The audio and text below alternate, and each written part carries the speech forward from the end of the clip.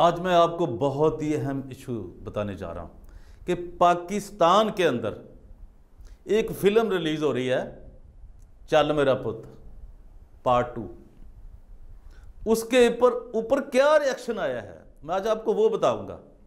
और वो क्या कंटेंट है कि इस, इतने अहम लोग जो हैं, पाकिस्तान के जो खुद बने हुए हैं, बड़े नाम नहाद बड़े अहम बने हुए हैं, वो क्या कह रहे हैं?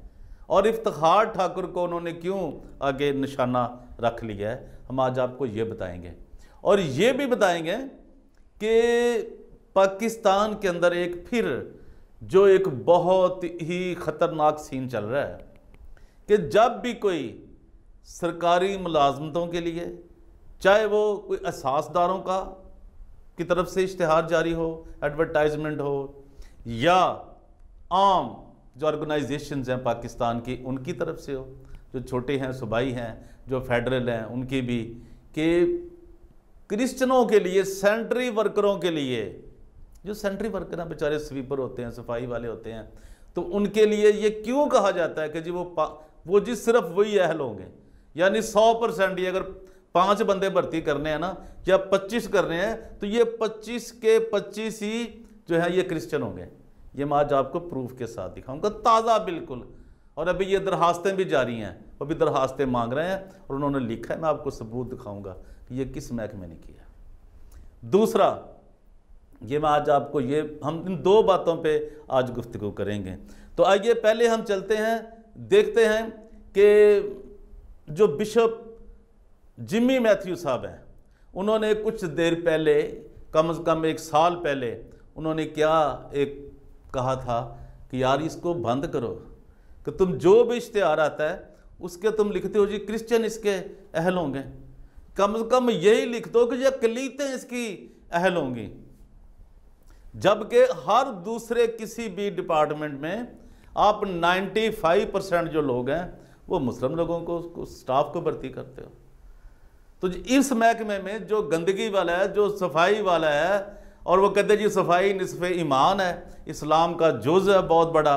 लेकिन यहाँ पे आप कहते जी, सारे क्रिश्चियन ही भर्ती कर लो। ये अहर है क्या? क्या ये रियासत मदीना की कोई एक नई शक्ल है? वैसे तो सारी गवर्नमेंटों ने ऐसा किया है, जब से पाकिस्तान मार्ज वजूद में आया है। लेकिन मैं अभी आपको बताता हूँ कि हमारे एक बिशप साहब हैं बिशप मैथ्यू साहब, जिम्मी मैथ्यू साहब। उन्होंने एक अखबार में उन्होंने एक स्टेटमेंट जारी की थी लेकिन ये कब जारी की थी? 23 जनवरी 2019 को। दो साल पहले। अब कुछ दिन रह गए हैं जनवरी में तो आप ये अंदाज़ा कर लें ए, उन्होंने तब ये एक बयान दिया था। कब दिया था? ये सारा मैं आप पढ़ आपको पढ़ कर बताना चाहता हूँ। और ये मशरक अखबार है पेशावर से ये शाया होता है। और ये तेईस जनवरी ट्वेंटी नाइनटीन, ट्वेंटी नाइनटीन, यानी कि 2019 को ये उन्होंने वहाँ पे ये अखबार में उन्होंने एक स्टेटमेंट दी थी, जिसके जो अहद नौ के बानी जो हैं, जर्नलिस्ट उनका नाम लिखा है सैद ताज मीर शाह साहब।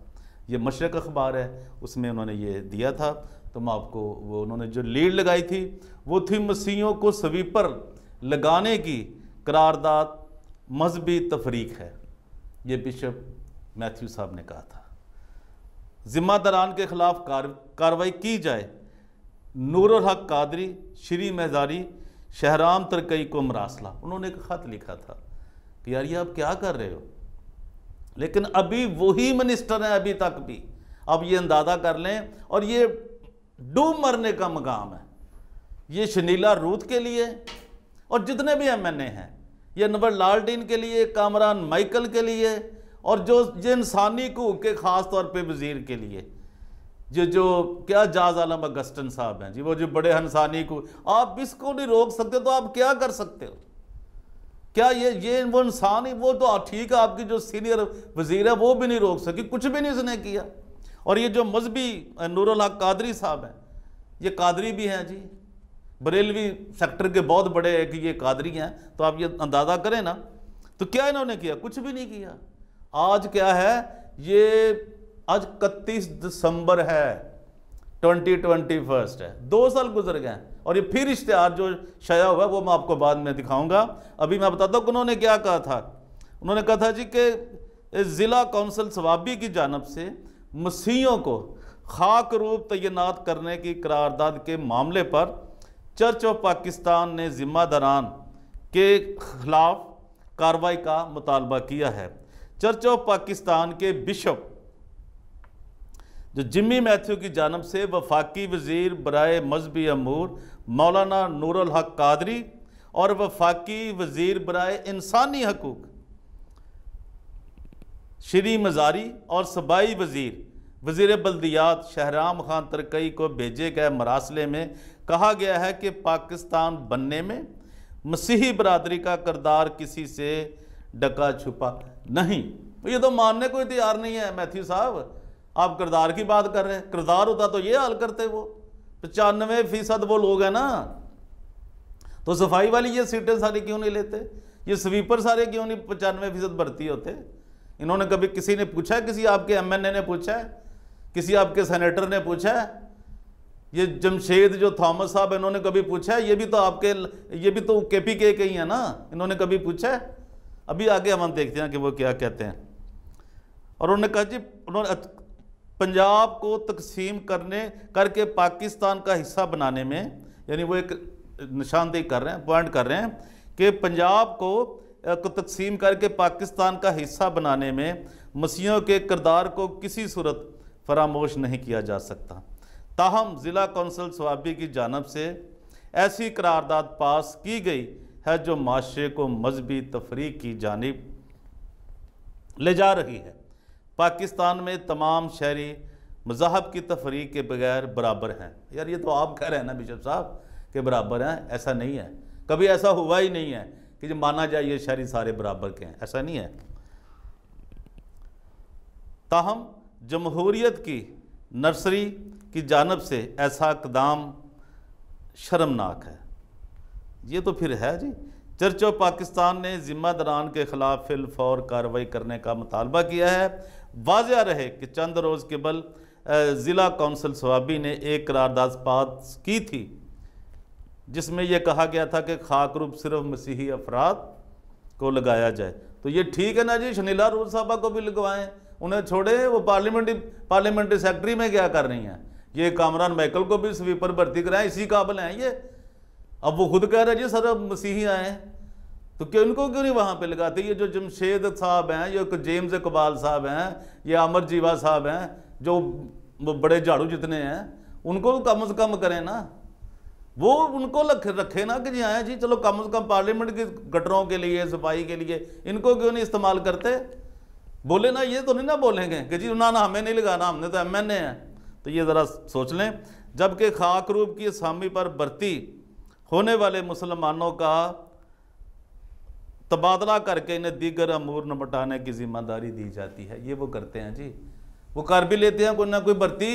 जैसे कि वो आदि तनहा पे रख, वो फिर आदि तनहा, वही आएगा वही खा ग्रुप, क्रिश्चियन। ही और फिर उनको क्या करते हैं, जितनी देर वो होते हैं, उनको किसी करके कहीं किसी और डिपार्टमेंट में फेंक देते हैं। लेकिन सफ़ाई के लिए सिर्फ़ क्रिश्चनों को ही रखते हैं। तो अब ये मेरे पास एक और, मैं बता रहा हूँ कि अभी ये फ्रेश एक चीज़ आई है और इनकी भर्तियों के लिए अभी 15 जनवरी 2022 की अभी इन्होंने तारीख दी है। क्या आप अप्लाई कर सकते हैं? किन के लिए?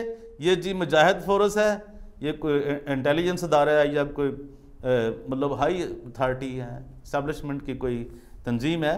और ये इन्होंने कहाँ के लिए ये मांगे हैं? उन्होंने ये इश्तहार छपा है पूरे अखबार में।